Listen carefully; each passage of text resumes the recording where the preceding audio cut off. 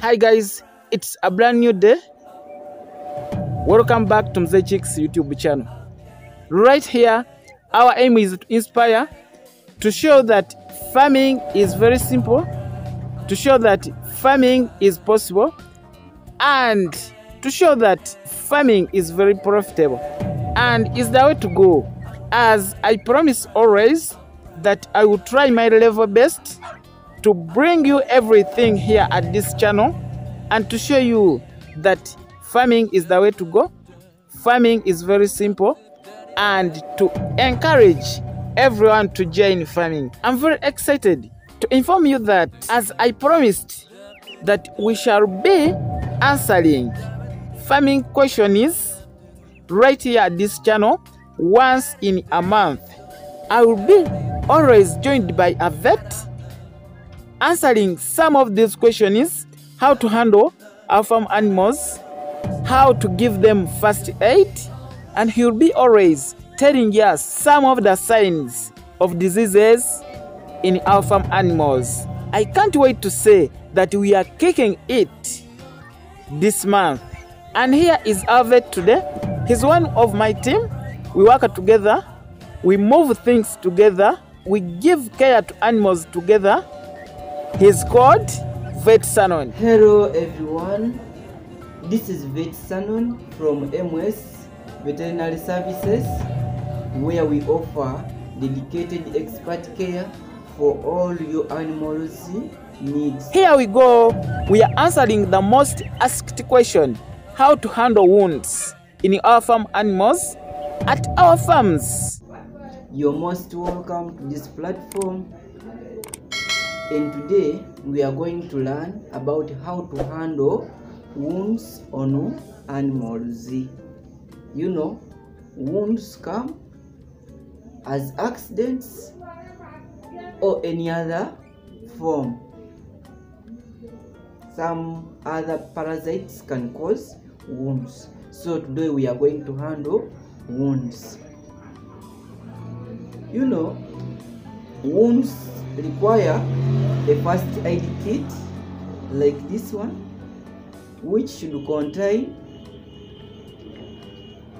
a surgical blade, scissor, cotton wool, plaster, and a disinfectant which would help to kill the microorganisms such as bacteria and prevent their entry into the body. No matter the status of the wound, every wound has to be thoroughly cleaned and disinfected before carrying out any other operation like treatment. An example I can give I found an animal with its hind limb cut off from the fetlock joint. The wound was dirty and I discovered some pus had developed in there. What I did, I thoroughly cleaned the wound, I disinfected it and applied a power on. After that, I sealed the area with cotton wool and plastered it. And the reason for this was to prevent entry of small broken stones, dung, and other foreign materials from entering into the wound, as this could also further promote disease infection.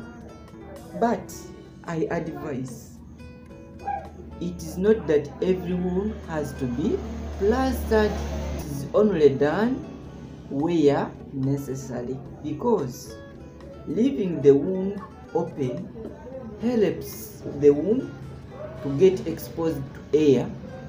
And this air also has a crucial effect on the healing of the wound. So you should not always stress yourself of going in for plastering it is only where necessary then After that, I administered the animal with three consecutive doses, which were injections.